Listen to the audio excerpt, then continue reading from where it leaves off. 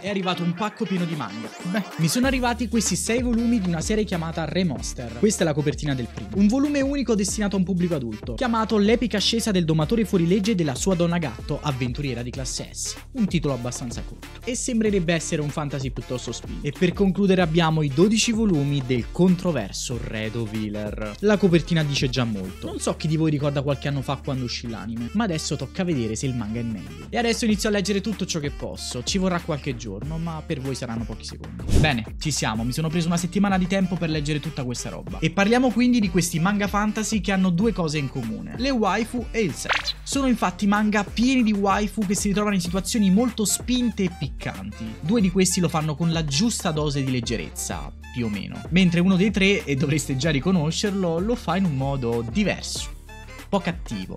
Tanto cattivo. E partiamo proprio da lui, Red Wheeler. Abuso, stupro, sesso, droga, con una mole infinita di waifu malvagie che pian piano in un modo o nell'altro si ritroveranno tra le braccia del folle protagonista, il cui scopo è vendicarsi di tutte loro. Questo è in breve Red Wheeler. Un manga eticamente sbagliato, non per forza in senso negativo, con temi molto forti e pesanti. L'ho conosciuto come tutti voi quando uscì l'anime qualche anno fa, che divenne virale per la sua premessa folle. Ma di cosa parla? La storia si svolge in un mondo oscuro e senza pace, con varie specie che si odiano e sono in costante conflitto tra loro. Ma la storia si focalizzerà su Keiaru, questo personaggio. Un mago guaritore che per via della credenza che i guaritori non sono in grado di combattere, viene sfruttato e abusato dagli altri quotidianamente. Una volta compreso di cosa può essere capace, Keiaru decide di usare la magia a suo esclusivo vantaggio, tornando indietro nel tempo e ricominciando la sua avventura dal principio. La tentazione di vendicarsi di tutti i torti subiti è forte, e il giovane guaritore non riesce a resistere dal portare finalmente il mondo a girare nel verso che vuole lui. Come vi ho detto, grazie all'anime questa storia è diventata molto conosciuta, anche se divenne al tempo stesso uno scandalo. Si tratta quindi di un'opera di puro e non sano intrattenimento senza morali. O meglio, in realtà qualcosa c'è. Red Wheeler mi ha insegnato a godermi le piccole cose della vita, perché non sai mai quando qualcuno verrà a distruggertela. Però, di certo, non imitando il protagonista. No, questa parte tagliamola. Comunque i disegni del manga mi piacciono molto più dell'anime e la storia ha un bel ritmo serrato dove in ogni volume il protagonista si ritroverà a vendicarsi di qualcuno. Solitamente si parla di belle ragazze, con le quali il protagonista farà delle brutte cose, sapete quali. È quindi molto scorrevole e non ha delle reali pretese, è una storia che coinvolge moltissimo all'inizio perché, diciamoci la verità, la premessa di partenza attira e coinvolge molto, ma poi a lungo andare si sviluppa in modo molto lineare. Viene comunque la curiosità di sapere come andrà avanti la storia e come si compierà questa sua vendetta. Sappiamo quindi bene cosa aspettarci da ogni volume, però qualche sorpresa ogni tanto ce la regala. Red Wheeler quindi non è un manga per tutti. Non che gli altri di cui parleremo siano tanto meno spinti, però in questo caso caso si raggiunge un livello di cattiveria veramente esagerato e ci sono tante scene che potrebbero disturbare le menti più pure. Passiamo quindi al prossimo. Per quanto riguarda il domatore e la gatta, che chiameremo così per semplificare, siamo di fronte ad una storia un po' più semplice e più classica, anche se c'è da dire che per ora è uscito solo il primo volume. Si tratta di un manga che all'apparenza ricorda un semplice fantasy con un giovane timido e una waifu gatta molto accattivante, ma dovete sapere che nasconde delle vere e proprie scene di set molto hot e spinte. Fin da subito. È infatti un manga super esplicito e volgare, non quanto Red Wheeler, però... Eh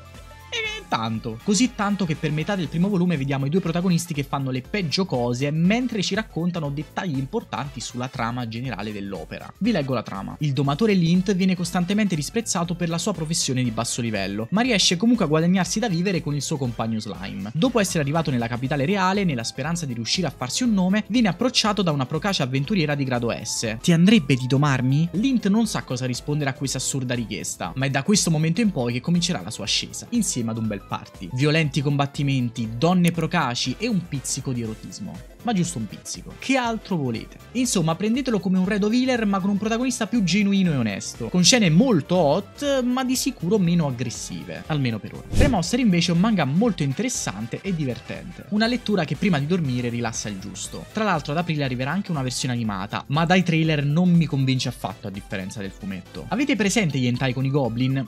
Ecco, sembra quello. Dovreste sapere bene che soprattutto nei manga di solito i goblin sono considerati dei nemici piuttosto inutili deboli e stupidi. Ma la vera sorpresa è che questo manga prova a ribaltare questo concetto. Se solitamente negli isekai i protagonisti si reincarnano in un altro mondo diventando l'oggetto più impensabile possibile come un distributore automatico o una creatura veramente bizzarra come uno slime, questa volta hanno deciso di sfruttare una razza molto poco allettante. Eppure questo manga funziona un sacco. Il protagonista dopo un tragico evento si reincarna in un goblin, una delle classi inferiori del mondo fantastico dove è rinato. Per sua fortuna in questa nuova terra conserva tutti i ricordi della vita precedente e il potere extrasensoriale, Absorption, che gli permette di mangiare qualsiasi cosa senza subire danni, anzi acquisendo forza e nuove abilità. Ad oggi viene considerato uno dei precursori dei manga e delle light novel isekai, un po' come successe anche per Mushoku Tensei. La cosa che ho notato è che i primi isekai sono quasi sempre i migliori, quelli strutturati meglio e più pensati rispetto a tutti quelli che stanno uscendo nel corso degli anni. Mi piace molto il fatto che viene raccontata tutta la storia in prima persona dal protagonista e viene divisa in giornate, senza mai correre. Pian piano, ovviamente, il protagonista, come qualsiasi isekai che si rispetti, si deve creare un bell'arem e non solo, abbiamo anche qui delle scene piuttosto spinte e cruenti, ma sicuramente più contestualizzate rispetto ai precedenti. Diciamo che qui si dà un po' meno spazio al fanservice e più alla trama. Infatti ciò che mi ha colpito di più di questo remaster è sicuramente il world building. Ci sono tanti dettagli della storia che ci vengono spiegati man mano e in maniera progressiva vedremo il protagonista crescere in questo mondo. Un bel fantasy ben strutturato. E direi che abbiamo finito. Ringrazio Magic Press che mi ha inviato tutti questi bei manga fantasy. Trovate il link qua sotto in descrizione se volete acquistare qualche manga di questa casa editrice. Altrimenti trovate tutto anche su Mangaio. Prima di lasciarvi vi cito un altro consiglio fantasy sempre di Magic Press